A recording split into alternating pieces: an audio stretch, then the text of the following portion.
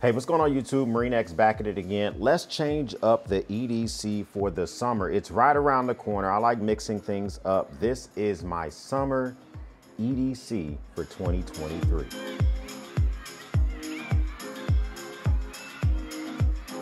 Now, as I mentioned before, I think that there's tier one, tier two, different EDCs when it comes to things that you carry every day, stuff that you carry maybe in your tech bag, might be a part of your backpack EDC. And then there's things that are actually on your person, on your body.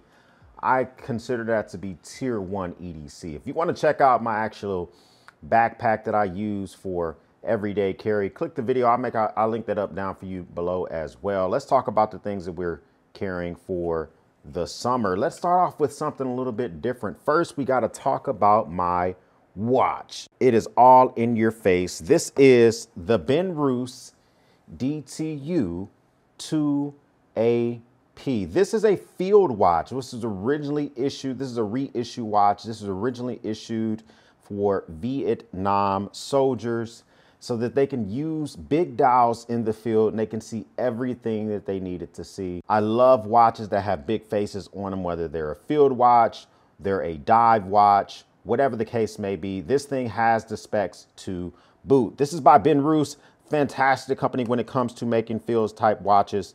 Has a little compass on here, 39.5 millimeter case diameter. The case thickness is nice and thick at 12.8 millimeters, nice domed kind of bevel on here as well. The outer bigger numbers are 12 hour span, the 24 hour or, or, the world clock is on the inner dials. So moving on to my next item, we gotta talk about the actual knife. This is the Benchmade bailout.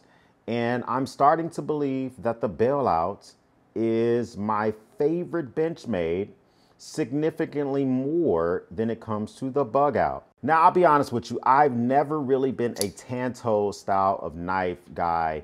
You know, I really prefer a drop point or a clip versus a Tanto, but I finally pulled the trigger on the bailout and I really enjoy this thing. This thing's about 3.38 inches. Make sure it's legal in your state before you run out and buy it. Make sure it's legal in your country, etc. 2.7 ounces, super light, not as light as a bug out. I'm reading these specs off to you, but I'm telling you, when it comes to a knife, you really don't need more than D2. But if you want something a little bit more premium, then yes, you can go for something like a CPM M4, an S30V, something, like that. It's gonna be uh, maintain its hardness more, have a better edge retention but you don't need to spend as much money on a knife. I'm giving you ideas about your carry. You don't have to run out and duplicate the same thing that I do, but if you want to, links will be down below. Make sure you check those out. Now moving on to my EDC flashlight, I am rocking the Nitecore EDC 27. This thing has been something else. First off,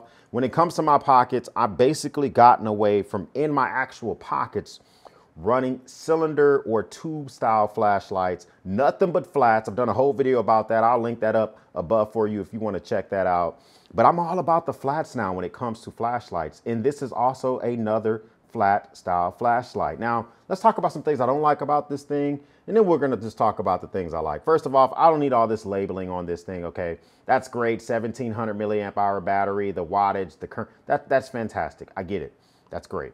I'm, I'm proud of you but I don't need all that labeling on my actual flashlight. Also, the pocket clip, when it's in your pocket, it doesn't quite sit deeply. This whole top part does hang out your pocket and you can definitely tell that it's there. You could accidentally engage the switch, but this does have a lock on it which is fantastic, which starts to lead me to some of my favorite things of this thing. First of all, it has a fantastic OLED screen on this thing. It tells you how many minutes you got left in the mode that you're using. It has 15 lumen, 65, 200, 1000, and a 3000 lumen turbo type mode. Strobe modes, this thing has over five different modes you can use. But when it comes to this flashlight, it comes in handy for all sorts of stuff you know, if you're trying to look under a couch, if you're trying to look maybe beneath a bed, or if you're trying to do maintenance on your lawnmower in a dark garage or, you know, maybe on the side of a house. Speaking of doing maintenance on your lawn equipment, that brings us to today's sponsor, Hipa. Hipa is a makes products and offers services for home and garden enthusiasts. Listen, I used them to fix up some old lawn equipment that I had that was darn near ancient. An edger that I had, a lawnmower needed some work, an air, a carburetor needed to be cleaned out, an air filter, some spark plugs. They got everything that you need, especially if you like to be outdoors and DIY your lawn or your garden yourself. Hipa makes parts for small engines and also great platform for any DIY repairs for source parts for lawn care machines, gasoline generators, chainsaws, all of that good stuff, man. I got a chainsaw that needed some work. Now, what you're gonna wanna do is you wanna go to hipastore.com and actually check out and see if they have what they need, what you need to actually make improvements on your lawn or garden equipment or your generator before you just run out and get rid of it and get a new one, check out their store. They have way more parts than you could ever imagine. Shout out to hipastore.com for sponsoring today's video. Make sure you check them out.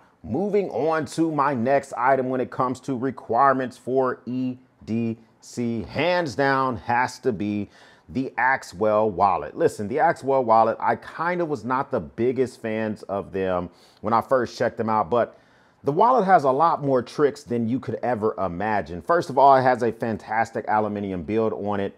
It does have a cash strap, which is kind of already built in. So if you don't want to use the actual money clip and purchase that, you can just use, stick cash here, or you can get the money the money clip that they actually offer on their website.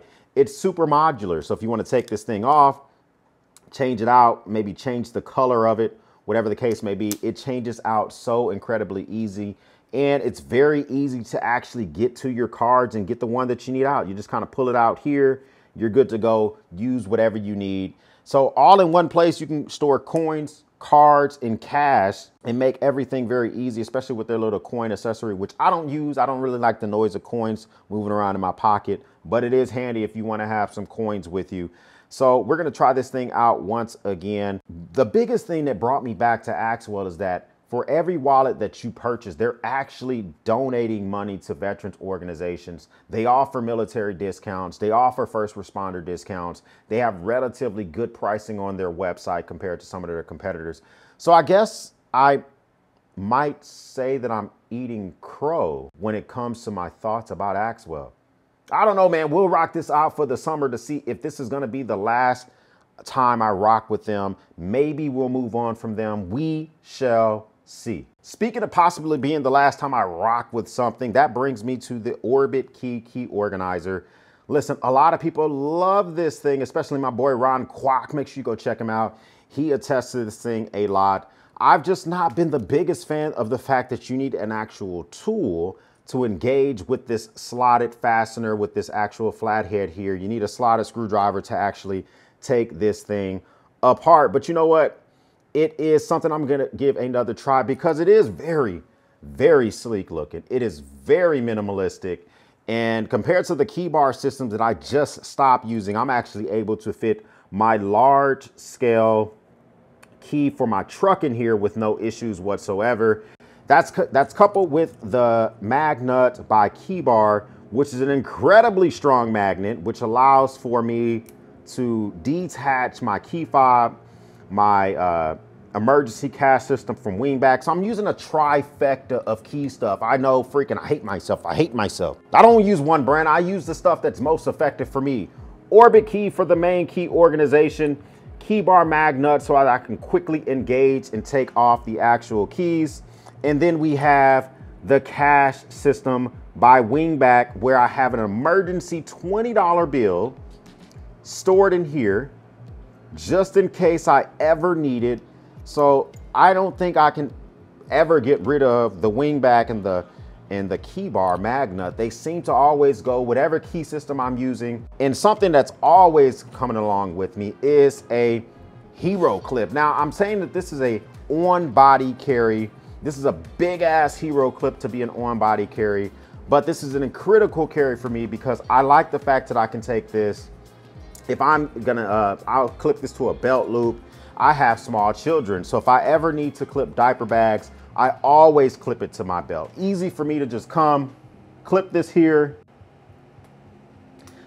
It frees up my hand so I can complete the task. I am that dad that is bringing the groceries in in one trip. This is the one trip grocery machine. Keep this thing nearby. You're gonna be able to clip everything in one. That's my EDC for the, for the summer, man. My on body tier one EDC for the summer.